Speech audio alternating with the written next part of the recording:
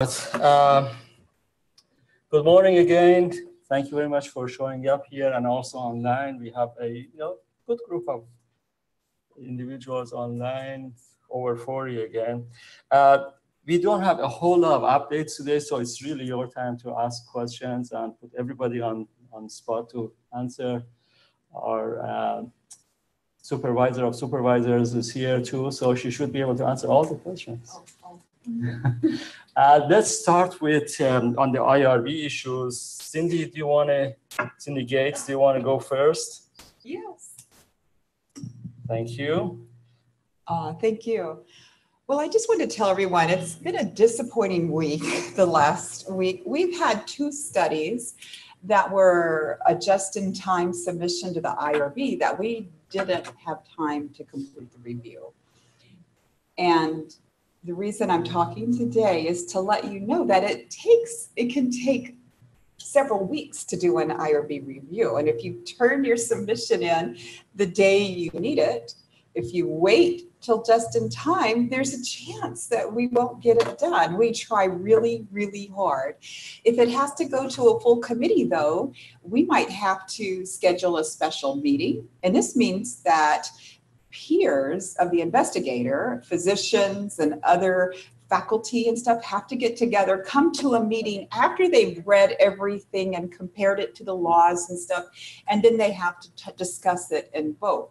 That can take several weeks. So, the take home message from my discussion today is don't wait till just in time to send your submission to the IRB we don't mind reviewing it, getting it over, and then you not get the grant. You might get the grant at a later time, or you might get other funding to do it. It's it, we don't consider it a waste of time. So when you submit your grant proposal, what do you think you should start doing? If, you, if it's human subject research, start writing your protocol and getting your submission ready for the IRB. You can wait maybe a month or so, but it's best just to get it all done. And when just in time comes, you can send your IRB approval right away. And even if it's exempt, or not human subject research, a lot of the funding agencies and departments want an IRB determination. And again, that takes a little bit of time. So don't wait till the last day of just in time, please. Do it way ahead if possible.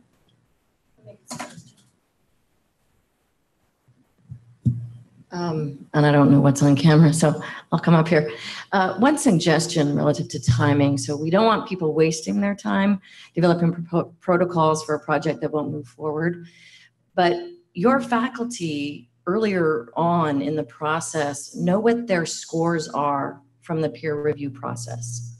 This is prior to just in time and all of that. So on the programmatic side, you're going to get your scores and you have a general sense of whether you got a fundable score or not, right? That's the time you need to start submitting your IRB protocols because you're going to have a time delay of two to three weeks, right? Before the grant side of the house, you know, your contract and grant officers start asking for just in time information. So that's your buffer time, and that's that should be sufficient to get you in the queue at the IRB in a timely enough manner to then, um, you know, so you're not wasting time, but you're not unable to meet the NIH just-in-time deadlines. And so that's just a, a recommendation that once your PI knows that score, if it looks like it's fundable, start the process. Thanks, Cindy. So don't wait till just in time. Oh, that's done. I suppose that's in response to um, what we are hearing from uh, researchers that uh, uh, I send a proposal out and I'm hoping to get the award, but there is no guarantee. That's why they wait you know, to the last minute. But as Cindy said, in, in especially like in NIH uh, situation, um, and in some of the cases, actually, this is the case.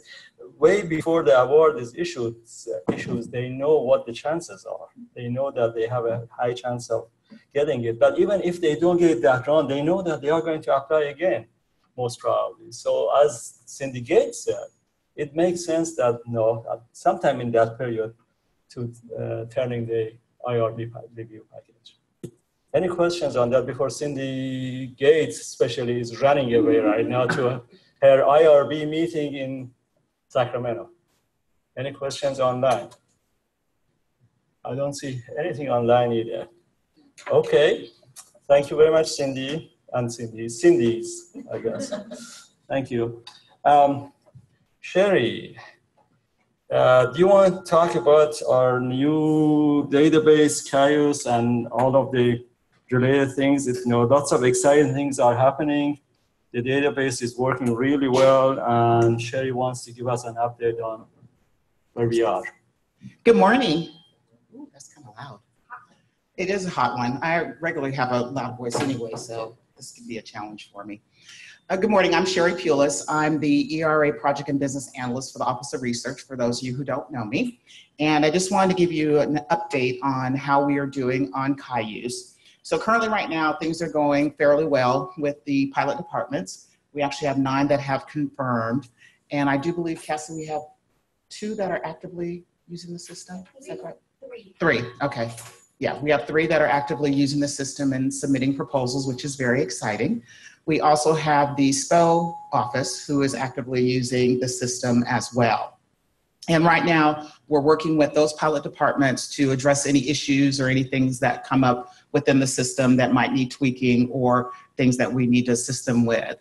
Also, I want to remind you if you have any login issues, um, either with Cayuse SP or Cayuse 424, to send an email to SPO ERA help at ucdavis.edu and then we triage those to see who they need to go to to help with those different various issues for logging in. And also the training. The trainings have been going well. We've trained so far about 150 individuals, and we have held four sessions, and there are two more left. So there is one this Friday here at the Office of Research beginning at one o'clock, and they're every hour until four, until four. So one, two, three, four. yeah, so one to two, two to three, and then three to four. You do not need to RSVP. You can just come and show up.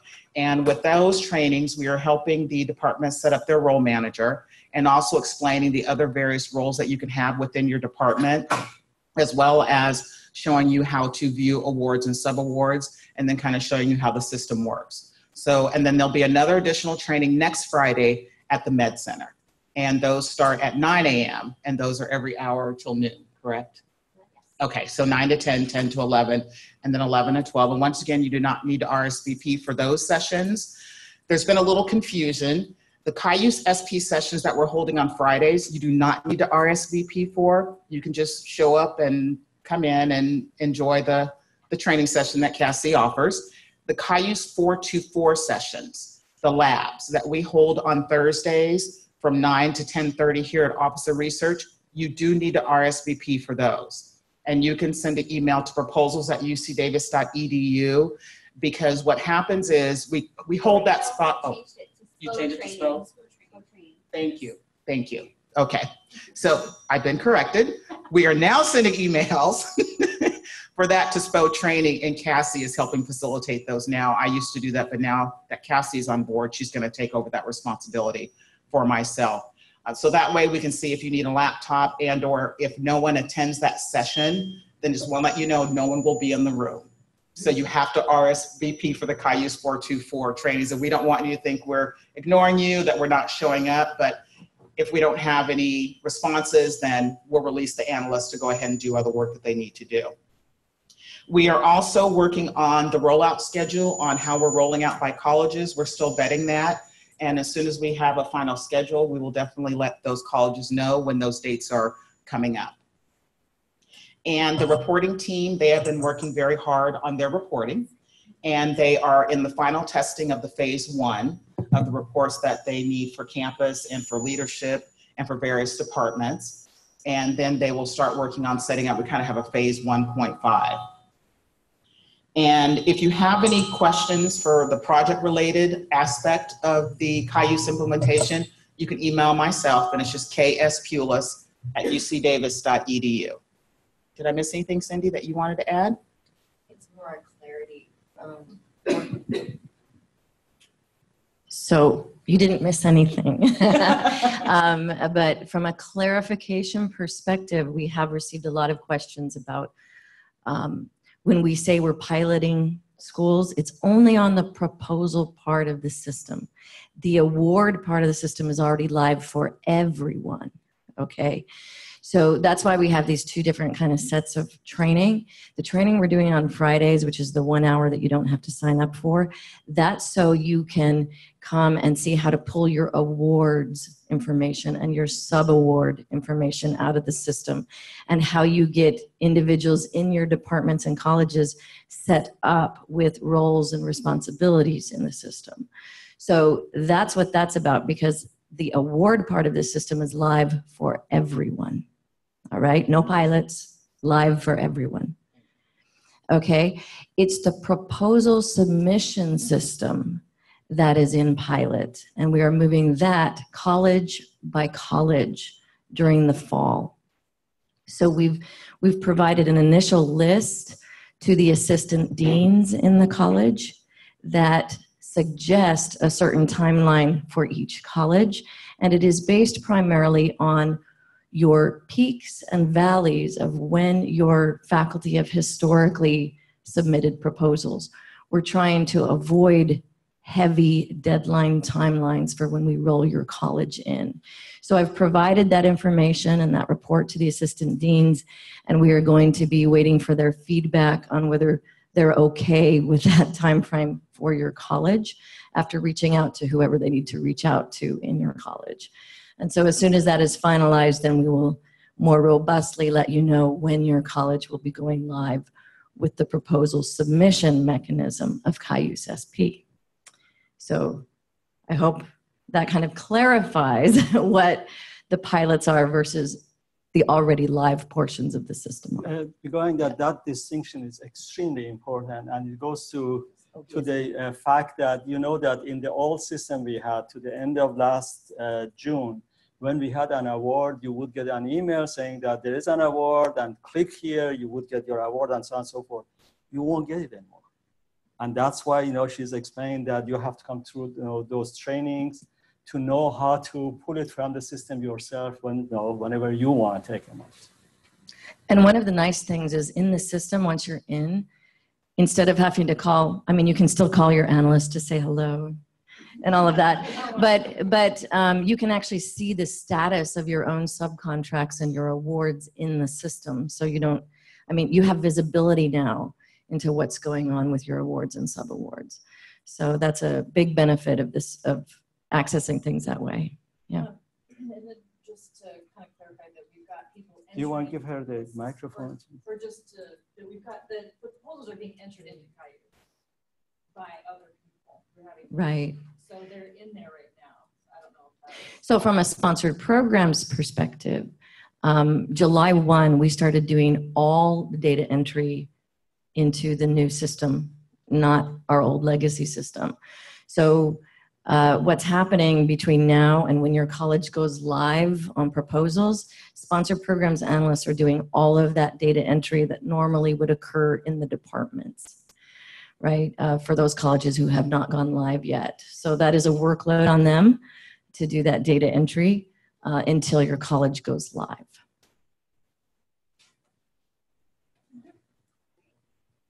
So we had two questions online that I think everyone might benefit from. One was, will only new awards show or will old awards show? And the answer is that only award transactions from July 1st and later will show an SP. Okay, new awards Grace. in which this okay, award side. This is a question I've been getting. New awards that we receive, SPO receives after July 1st will be in Cayuse, not awards executed after July 1st. So if SPO has received the award in June and executed in July, it will still be in our old system. Only awards received by SPO July 1st or later will be in the new system. And there will be a test on all of these things we just talked about. Yeah, after, So, yeah, uh, for us, right? So that we know. yeah, just, Um, so the other question was, were- are we going to schedule any more training sessions. And we do not intend to schedule any more training sessions for the role manager and department admins. We've had four, and we're going to have one more this Friday, like Sherry mentioned, and Davis starting at one. There'll be actually four, and then one, uh, three more next Friday, the 20 or the August 4th, I think it is, in Sacramento at 9, 10, and 11 at the Med Center and, and the education building. And we do not intend to schedule any more. We will have training sessions for inputting proposals at a later date whenever we start rolling it out college by college. All right, any other questions, any comments? Is that it for online, Cassie? We had one more. Um, Can you clarify what the difference is between active projects and proposals in my units? So, projects are the overarching folder um, that house the proposals. So, active projects are and awards and sub awards. And so, active projects are this overarching folder. Your proposals, we when we get a proposal in, we assign it to a project. And so they work together, but they're two different things. And then going from there, when you get funded, an award is built off of a proposal. So you can view all of that at the project level. You can also view all of your sub awards, they're called subcontracts and SP at the project level. Thank you. All right, thank you very much. Okay. Any more questions on any of that? So if someone can't attend the next two trainings, what's their options in order to? They should email this SPO training. Okay, the question was if uh, someone would want to come through uh, training but can't uh, come in the next two days that we have the training, what should they do? And Cassie said, Email SPO training at ucdavis.edu, and the training materials are also online at the Spark training website. Thank you. Okay, going forward. One more question. That's good. Very good. Yeah, it's great. It's great. Please send the questions in. Yeah, thank you. So, can you please explain how accounting will receive notification that an award is ready for funding? And they are getting, accounting is getting a nightly, I think. Is it nightly? They're getting a feed nightly of all new awards from our system. And and then we'll start processing. yeah, and then they'll start processing them from there. So, they're getting notified um, in a similar fashion as before. And the nightly, it, it's, uh, you know that we work 24 hours a day. The nightly means 4 a.m. So 4 a.m. They, the report goes out. It takes care of everything from the day before. Okay? Any more questions? And uh, no, we are going to change topics, but meanwhile, if questions come up, please send them in either online or here. We will take care of it. Um, any updates from compliance? Jessica from compliance has updates. Thank you, Jessica. Uh, good morning, everybody. I'm Jessica Trask. I'm an analyst over in research compliance and integrity, and I just have two quick updates, uh, one of which is very important. We have been notified by LMS that their system will for training will be unavailable between July 28th and August 7th. And this is especially important if you are an NIH funded investigator or you are planning on receiving NIH funding and you will need to complete the uh, conflict of interest briefing for researchers. Uh, often that is necessary before an award can go through. Uh, that you will not be able to do that between July 28th and August 7th.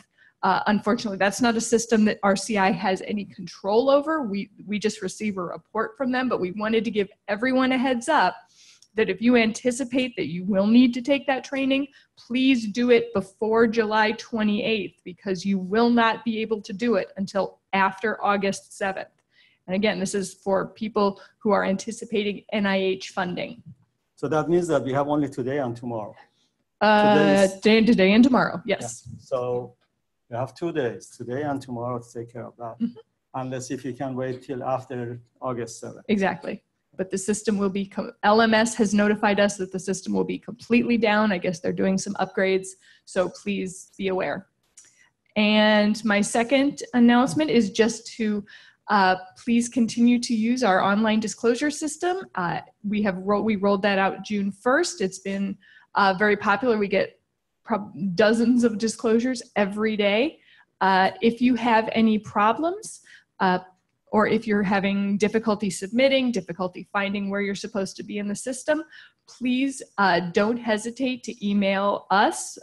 Uh, those can be directed towards or underscore coi at ucdavis.edu. Also, on the Research Compliance and Integrity website, we have all of our training materials. We have a very lengthy step by step guide. We have an investigator quick start guide. We have a quick start guide for administrators. So uh, please continue to use the system. We will be accepting paper copies throughout the summer, but the sooner you get on the system, the better because it really does give everyone access to your paperwork simultaneously. And I think that's it.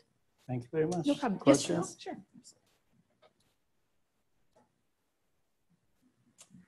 One other compliance training related item. Um, some of you who haven't been around for a, a few years may not know this, but about three years ago, we entered into a compliance agreement with the National Science Foundation and Department of Justice.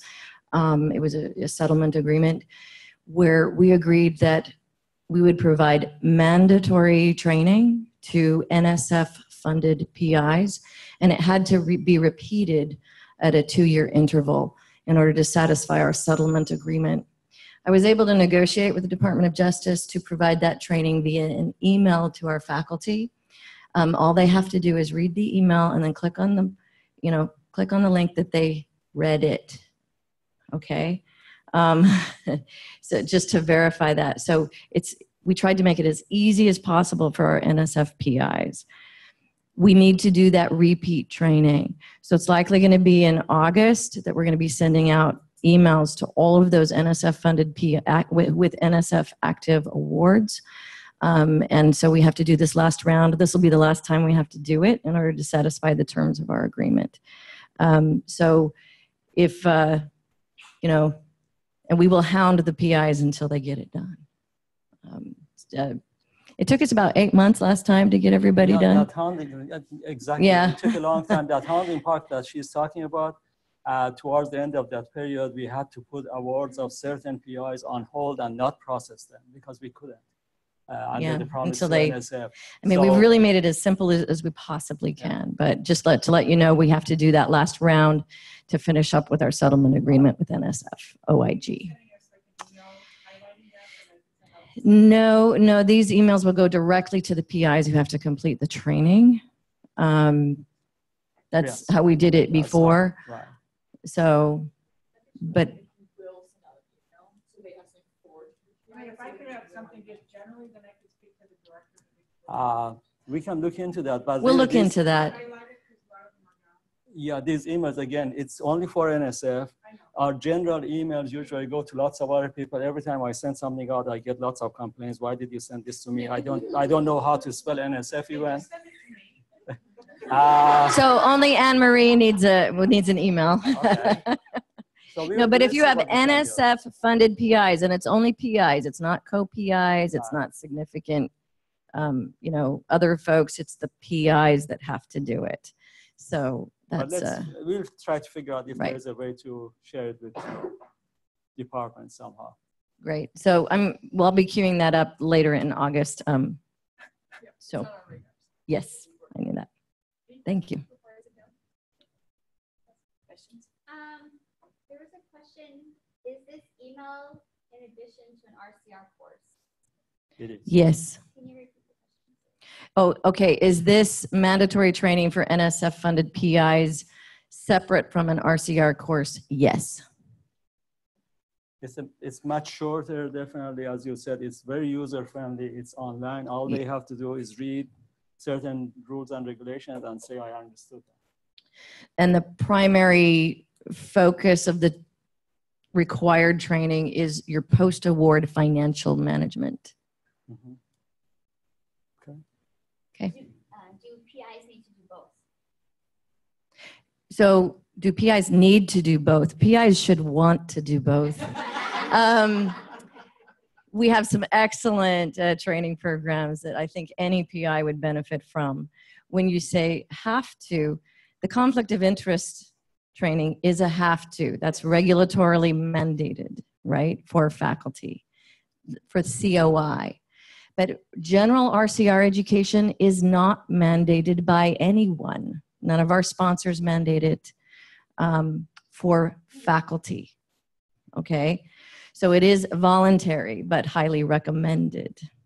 Uh, the the RCR is required for NSF funded grad students, undergrad students, and it is mandated for NIH funded graduate students and students who are in training programs and also postdocs, right?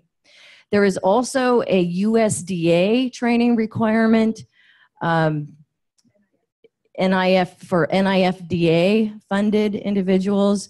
Um, and so that is also a requirement for USDA, uh, NIFDA funded faculty um, that we've been working with Penny Herbert in the College of Ag in particular on. So is that good? Okay. Okay. Thank you. Thank you very much. Well, let's see. How about proposals? Do you have updates? Chris, team leader from proposal. Good morning, everyone. Sorry I was late. Um, I had printer problems trying to print deadlines.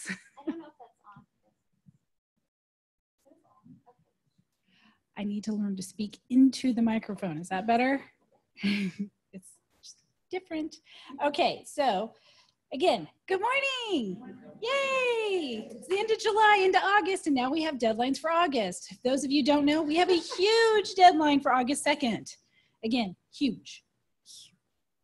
Anyway, uh, so starting with that, USDA is one of our big ones that we have for August 2nd, as well as NSF. If those of you don't have your proposal in, you're late. Uh, so first thing with NSF, we have various deadlines and I tried to print out the dates, but it kept messing up. So what I recommend doing is going to the NSF, just Google NSF deadlines. You're gonna get a whole slew of all the programs that are in August that you can submit to. Some of the SBIRs and STTRs are coming up, so I highly recommend for your faculty to take a look at that because there's a lot of interested faculty out there that want to partner with industry, so I really recommend that. On the NIH side, on August 5th is their SBIR, STTR call. So again, get that in as soon as possible. I'd say no later than the end of this week because you need to get acting on that as quickly as possible. And there's a lot that the industry partner needs to do that we cannot do. That is not our role. Our role is to help our faculty members in their preparation of their proposal represented by UC Davis. We cannot assist with the industry side. So I just wanna make sure that's really clear. If there's questions, we're here to help and guide, but we cannot assist with their application package. On that issue, uh, it's, it's a very important issue that she just said. Uh, think about SBIR, it's for small business uh, proposal. Everything has to be done in small business except for the part that they say that no, they are expecting to give us a sub award. We would work on the portion of the proposal which has to do with the sub award that if they get the award, we would get a sub award. Be very careful. So, you know, there have been situations that uh, the work of the company to put a package of proposal together has been apparently done in the department. You cannot do that. That's time of university. You cannot you know, work for a company at university, you know, expense. And if a PR comes to you saying that, well, you know, my friend at the company don't know how to do this and all of that, maybe we can give them guidelines how, what to do, where to look for things. We cannot do their work. So be very careful on that. It's just, you know, it's, it's a huge, huge conflict of interest and conflict of commitment issue there. Thank you Thank you very much. Uh, in addition, on August 8th is the NIH Individual Fellowships. And then on August 13th is the diversity fellowships. Those are very popular, so be mindful of those. On August 12th is the NIH conference grants. There's a few faculty that I've seen on a pretty regular basis that like to go for those because obviously it's good recognition, it's good partnering with other universities. So um, if you're interested in that, With USDA, again, we have a huge deadline coming up on August 2nd, which is the water food production system. On August 9th is the critical agricultural research and extension program. On August 17th is the social implications in emergency technologies. That's another big one. Um, and those also require letters of intent. So if you did not submit your letter of intent in May or in June, you're not able to submit the full proposal. So it's really important that hopefully the faculty were already ahead of the game in submitting their letters of intent directly to uh, USDA on those. Um, then, okay, uh, one housekeeping item, and I'm not sure if it was mentioned because I came in late, so Grace, correct me if I'm incorrect, if this is already said. But one thing that we want to make sure that people are reminded of is when you submit your application to our office and that proposal is successfully submitted, and you have human subjects on that application, it is imperative that your faculty begin the process of completing their IRB protocol. Okay, Earlier city dates. perfect. Thank you, Cindy. It's good repeating it, though. Yeah. Thank you very much for repeating. Submit as soon as possible. There's specialty people that they need on those committees and they need the time to do that. Thanks. Okay. The other thing is a couple housekeeping things. I don't know if you mentioned this, that we are down staff on the proposal team. We are always on stuff. They know that. They have to. There was, there was a stint, there was a stint of time. We were fully, fully, yeah, we had all, all bodies in a seat. Anyway, people move on and they go on to bigger and better things, which is awesome. But please be mindful of that. Our office is working as fast as we can, as diligently as we can, but is a very busy proposal submission deadline. And most analysts right now have 10 to 12 proposals in their queue for review. So if you can be patient and try to submit as early as possible and as complete as possible. Submitting a shell application is going to make them have to review that application two and three times, which is not a good use of their time. So if there's anything that you can do to help with that, I know you're on the front line with the faculty and you hear it from the faculty and we're here to support you the best way we can. Please be patient with our office. If we're not responding, feel free to call us. We're going to try to get back to you as soon as we can. We try to respond within 24 hours, but right now it seems to be closer to two days. So just On that issue of timeline, really, to be fair to everybody who's sending proposals, let's assume that I send a proposal in, as you said, shell proposal, and the analysts reviewed it, and there are lots of things missing. And I get, I am the PI, from the analyst from here, get an email saying that items one through five are needed. Then the analyst who is working on this project is going to go to the next project. So when I, as the PI, send the information in, I would go to the end of the line. I mean, no, just we have to be fair to everybody. So be very you know, careful Yes. about making sure that the package comes in together. Last week, I was working on a project that the department person um, was under the impression that we had five days. I gave them the, you know, the documentation, which showed that yes, five days before the deadline, we had received the shell, but in fact, like two and a half, three hours before the deadline, we got everything that we needed. And they were wondering why did it take you know, so many you know, days to you know, send the final email saying that you're missing all of these things. Um, I said, because you gave us two hours. And actually, two hours, we shouldn't review anything. And we should really send it out as is. And if there is hopefully an award, then we have to deal with the terms and conditions then. And the consequence might be that the award might not be able to be accepted. So that's why you know, we really have to all work together Yeah. to serve our, our researchers. There's a question here. Could you answer? Get it, you know, go closer to. You have to be on the microphone. Thank you. Um, For heavy submission deadlines for the USDA and College of Ag, if you, for the, um, the August 2nd, if people are going to be sub-awardees too, I was, I'm just concerned about getting last minute proposals for folks that are going to be subs to other universities. Um, so I just want to make sure that people are aware that that does take time to review those, those sub-award documents and that we, ca- having those documents, um, the deadline for those documents is not the August 2nd deadline. That's got to be the sponsor, the university that's actually submitting the lead. They, they have a deadline that we need to have their stuff too, and it's usually before, it needs to be before that actual August 2nd deadline or, or whatever, because um, otherwise we will likely miss that opportunity. That's a to very good point. And actually, the deadline you are talking about for the prime awardee, it might have already passed. Yeah, so everyone, if you didn't hear that, Brooke made a very good point that if you do have a sub-award, if you're participating, your faculty member is participating on another university's proposal to USDA or NIH or anyone, NSF for that matter, DOE, D- DOD. It's really important. There's a couple key things to remember for the housekeeping of this. It's important that one, the application budget, the R&R, which is research and related budget, is pulled from that prime application in which that other university is submitting. Otherwise, it really can trip up the application package and create errors unnecessarily in the submission process. We've found this to be very true with stuff that we've received um, from others that were subs on our application. So, and sometimes there's not a lot of time to correct that and resubmit in order to make the deadline. So it's really important that working with your faculty that you know that you've received the the R&R budget pages from that prime application budget.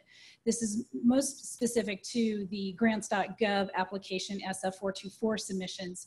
You're dealing with NSF, it's in Fastlane and they can add our institution in Fastlane. It's a lot different and easier, more streamlined. But not everybody has Cayuse 424 like we do. And uh, sometimes it's really important to make sure that we get that budget completed as well as if there's asking they're asking for any other documents from us it takes time to prepare and sign and submit back to you. So we can get this back in a timely fashion to you so they can get it to their prime sponsor as soon as possible for the submission. And i think cindy said very clearly that if you actually have a proposal as a subaward due on the second we should probably have it in our office already five days in advance. It's the same as a full proposal And so, you know, I wanted to talk a little bit about future state since we were talking about Cayuse earlier. Once your college rolls out with the proposal submission mechanism, and if you want to use SF 424 today, that we launched September last year, um, there is a subcontract portal that Cayuse offers. Our subcontractors, if we're the lead and we have subcontractors, they do not have to be using Cayuse at their institution in order to use the subcontract submission portal to fill out those forms online and then have it submitted to us. You just need to provide them with the website where they can do that. And then that pulls into our proposal and streamlines the whole thing. So you do not have to have subcontracts that are part of, you know, that have subscribed to Cayuse in order to do that. And that website, just so you know, is subawards.com. So it'll get you everything you need. And again, you don't have to have a membership, you don't have to pay for anything, everything is free and there for you. Um, I do believe you need to know what the call is. I think that is helpful. Um, and if you don't know that, then we can try to help you too. but I think that's it, unless there's any questions. So we have a question about, can we get guidance regarding UC Davis eligibility to apply for calls listed under Cal E-Procure? Oh, you want to repeat the question and then Okay. figure out what's, what Cal EP? yeah. Okay, somebody's looking for guidance on PI eligibility. UC Davis eligibility, excuse me, UC Davis eligibility on Cal E-Procure. I would have to look at it at, at this point. Um, I don't know. I what- think, is it the state, is it the state website that they're asking for the submissions? They're- Sounds like um, California. Procurement of something. Procurement, which means a service. Right, the not service necessarily contract side of it, which is an online website, I believe, if I'm not mistaken. Um, so they asked somebody and we're told to ask at the forum, but maybe we can just look at it offline. Why don't we do that? Yeah. And then we'll get back to them. Thank you for your question. We'll get back to you. And then we had another question about, um,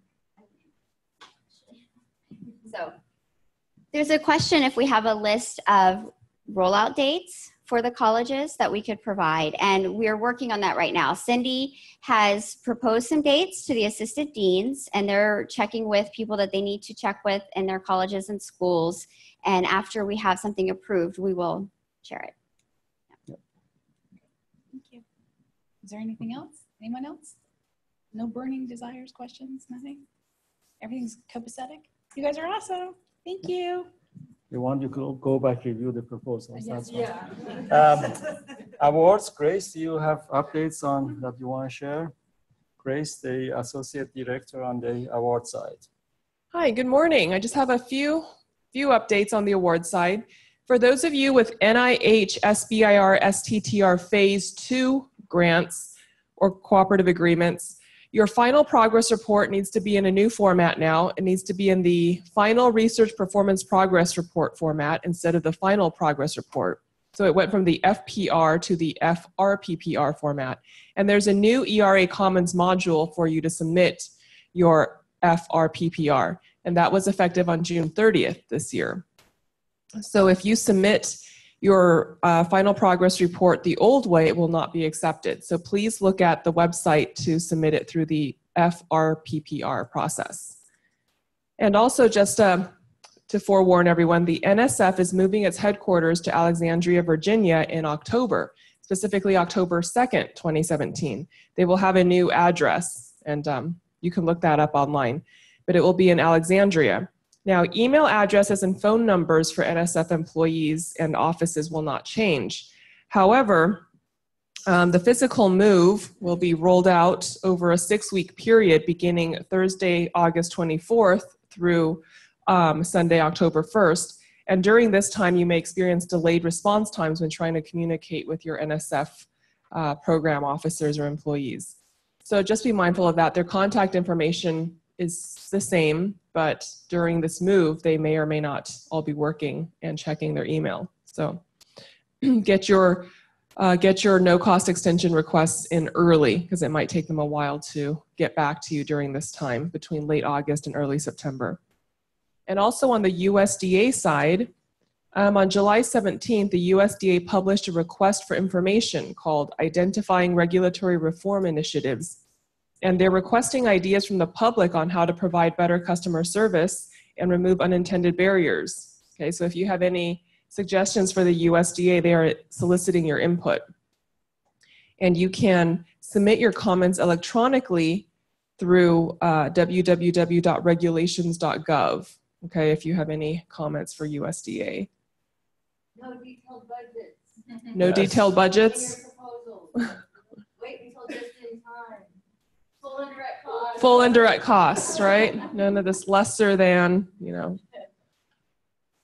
Any questions? Okay, so yes, I think hopefully you are all able to access your awards through Cayuse, those that were received after July 1st, and you can see the future state, as Cindy put it, of um, how you can see your. Now, the idea right now is we are still giving you some email prompts, but hopefully your departments will look at your awards on your own, right? You're not going to get the CGT emails. Uh, CGT was our old database. You're not going to get as many emails on the award side in the future. Thank you. No questions there? Any updates from accounting? I don't, uh, Francisco or no, no updates from accounting. They have been extremely busy with the final close, fiscal, fiscal close. And I know I, I sent a lot of emails to Francisco. Thank you very much for answering so fast and within half an hour usually. Um, we did pretty well last year as far as you know our researchers getting a lot of money you know in the form of awards we you know matched basically very, we are very close to the highest year we had uh, it seems like we are clearing uh, 780 million so you know that the final numbers would be reviewed and certified approved and so on and so forth by ucop within the next month and a half but that's where it seems like we are heading. So it was a very good year, better than last year. And so, you know, our researchers are great as usual. Any questions uh, before or about anything? Anything you heard today, anything you didn't hear, and here you are saying that there's a question. So online, they're asking if there will be any indicator on the front page of SP about what has changed since the last time they logged into the system. And the answer is is no. Um, but however, for if you're looking to see if the status of a proposal has changed, you can go to my proposals or proposals in my unit, and I can explain that. Um, I explain that at the training sessions. Um, and see the status. And you can filter by the status, you can search by the status, you can search by the PI and various things, and the same thing in awards. But no, there is not an actual indicator on the front page. Yeah, there's another question that just came in uh, asking when will Cayuse training be offered for faculty? And the answers to that to that is that it will be offered whenever it's rolled out to your college. So during that rollout process, we'll offer training to faculty and anyone else who will be entering proposals into the system. Great. So they can also go to the notes section. Mhm. And we are, I know, I think the boards is also, but some awards, we're, we're adding notes. Um, There's been a status change, like out to department or out to sponsor and signature. Okay. So they can go in the notes section and Okay, so um, Paula just said that you can also, when you open up your subcontract or your award, you can go to the notes tab in that and see any status changes. If it's out to the sponsor, et cetera, they're adding notes into there where you can see that. Okay. Thank you. Anything else you want to talk about? Going once? Going twice? It's 9:20 and thank you very much for showing up. We'll see you next time. Yes. Thanks, yeah,